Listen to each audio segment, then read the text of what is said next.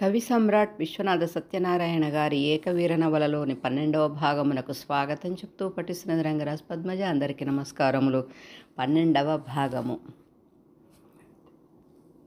కుట్టాన్ భోజనం చేసి తన గదిలోనికి పోయి ఒక భూర్జ పత్రం తీసి దానిపై పరాభవనామ సంవత్సర వైశాఖ బహుళ పద్నాలుగు అని రాసినాడు. ఆ ఆకు మంచి గంధపు జంతుకాయ పెట్టెలో పూర్వము తాను మీనాక్షి ప్రేమ చిహ్నములు దాచిన దానిలో దాచినాడు. నాడు అమావాస్య అగుట వలన పాఠశాలకు సెలవు ఏమీ తోచలేదు. బండి కట్టించుకొని వీరభూపతి ఇంటికి వెళ్ళినాడు. వీరభూపతి ఇంటి వద్ద లేడు. రాజవల్లిపురం ఎగినాడట. వీరభూపతి పక్కనున్న ఇంటిలో ఒక ఉత్తరం ఇచ్చిపోయినాడు అందులో వీరభూపతి తన తండ్రి ఉత్తరము వ్రాసెననియు. వివాహముకు వలె తోచుచున్నదనియు ఎట్లయినను ఐదారు నెలల వరకు మరల వచ్చుటకు వీలు లేదనియు జ్ఞాపకముంచుకొనవలయననియు వ్రాసి ఉన్నాడు. మిత్రవియోగము సేతుపతికి దుర్భరమనిపించింది. కుట్టానింటికి పోయినాడు. తన గదిలో పుస్తకములన్నీ సర్దినాడు. ఎంతసేపటికి పొద్దుపోలేదు. పండుకొని నిదురకై ప్రయత్నించినాడు. నిదుర రాలేదు. కొంతకాలమైన తర్వాత లేచి స్నానము చేసి అల్పాహారమును తీసుకున్నాడు. పొద్దు వాటారినది. కుట్టాన్ పూల తోటలో తిరగబోయి నిత్య పరిపోషణము చేత నిండుగా వికసించి ఉన్న పూదోటలో కూడా ఆనందము కనిపించక తిరుమల నాయకుని చూచి వత్తునని పోయాను. ప్రొద్దు కుంక వచ్చినది. ఏకవీర పై తోటలోనికి పోయినది. పెంపుడు లేడి వెంట వచ్చినది. ఎర్రగన్నేరు మొగ్గలు త్రుంచి ఏకవీర లేడి పిల్లకు అందించెను. అది రెండు కొరికి తల ఆడించుకొనుచు దూరము పోయినది.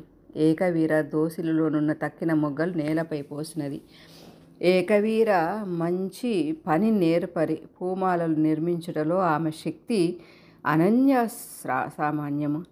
గన్నేరులు మందారులు మల్లెలు జాజులు కోసి ఆమె ఒక దండ గుచ్చినది. ఆ దండ చిత్రము ఏకవీరకే తెలియను. దండ ఇటులాగినచో చిన్నది అటులాగినచో పెద్దది అగును. చిన్నదైనప్పుడు జాజులు మల్లెలు ఎడమై మందారాలను గన్నేరులను మూసివేయును.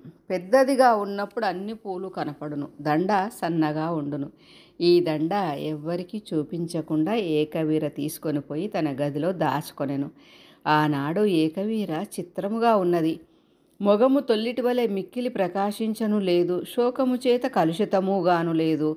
ఆమె పుష్యమాసపు నది వలె పుష్టియు కాక కృషయు కాక ఒండు చేత గోధుమ వన్నె గలదేయు కాక కొబ్బరి నీళ్ళ వలె అతి అతిశబలయు కాక అప్పుడే వికసించి సంపూర్ణ శోభతో చెలువారని పూర్తిగా వడలిపోయి శోభాహీనము కాని నవమల్లిక వలె ప్రకాశించినది.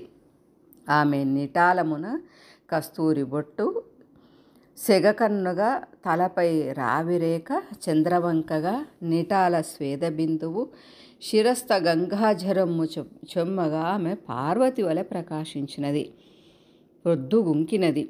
వైఘై పులినముల నుండి తిరిగి వచ్చిన కుట్టాన్ భోజనం చేసి చాలా రాత్రి చాలా పొద్దుపో వరకు ఏదో చదువుకొనుచుండెను. రాత్రి జామున్నరైనది. ఏకవీర ఒక దాసిని పిలిచి మహారాజును నేను పిలుచుచుంటినని చెప్పుము అన్నది. అది బయటకు వచ్చి అందరు దాసీలలో కలవరము కలిగించినది. పొద్దున స్వామి పరమేశ్వర సముద్రం నుండి వచ్చిన వెంటనే అంతఃపురంలోనికి పోయాను. ఇప్పుడు వర్తమానము? అందరూ ఆశ్చర్యపోయిరి. ఇదివరకు వారు అనుకున్నవన్నీ అయదార్థములా ఏమి? భార్యాభర్తలకు చాలా అన్యోన్యం ఉన్నది వలె ఉన్నది. మొన్న దండ చీలికలై నేలపై ఉంటాయేమి? దానికి ప్రణయకోపార్థములు కల్పింపబడినవి. పనికత్తే కుట్టాన్ గది వద్దకు పోయి నిలబడినది. కుట్టాన్ తలుపు కదలిక విని ఎవరు వారు? అన్నాడు. దాసి బాబు అమ్మగారు రమ్మనుచున్నారు అన్నది. కుట్టాన్ మరుమాటాడలేదు. పుస్తకము మూసి అంతఃపురంలోనికి పోయినాడు. అతడు పోయిన దారి అంతయు ప్రశస్తమైన కస్తూరికా వాసనలు ఘుమఘుమలాడినవి. అంతఃపుర సేవకురాండ్రు నిస్తబ్దలు. సాశ్చర్యులైపోయినారు. రాత్రి రెండు జాములైనది. గది ముందు పండుకున్న బాల సారంగి కనులు మూసుకొని నడుమ నడుమ నెమరు వేయిచు నిద్రపోవుచున్నది. కుట్టాన్ పోయి గదిలో మంచముపై కూర్చున్నాడు. ఏకవీర నిలుచుండి తల వంచుకొని పూలదండ తీసి దీర్ఘమును సన్నది అయిన మాల ఒక సూత్రాకర్షణము చేత హ్రస్వమును చిక్కనియో చేసి మరల దీర్ఘీకరించి అతని వంక తల ఎత్తి భావాభిరామముగా చూచెను. కుట్టాన్ ఇది ఎవరు కూర్చిరి? ఏకవీర కనులలో ఆమెయే అది కూర్చినదని స్పష్టపడినది. ఏకవీర మాలను హ్రస్వీకరించి కుట్టాన్ మెడలో వేశాను కుట్టాన్ బాగున్నదని కుడి చేతితో దానిని మెడలో సర్దుకొనెను. వ్యతిరేక సూత్రం అజ్ఞాతము చేతికి తగిలి సూత్రము పొడుగైపోయాను. జాజులు మల్లెలు గన్నేరులు మందారలు విడివిడిగా అయిపోయినవి. ఇరువురు చెరియొక శయ్యపై నిద్రించినారు. రాత్రి చాలా పొద్దుపోవు వరకు నిదురలేమి. ఆ రక్తమంజులములైన విశాల నేత్రములతో దీర్ఘ నవీన పుష్పమాలికాలంకృత వక్తస్థలంతో బయటికి వచ్చిన కుట్టాన్ ప్రభువును చూసి అందరు పనికత్తలు చకిత నేత్రలు సస్మితాస్యలు లజ్జాదరహాసధరులు అసంభ్రమ దత్త మార్గలు అయినారు.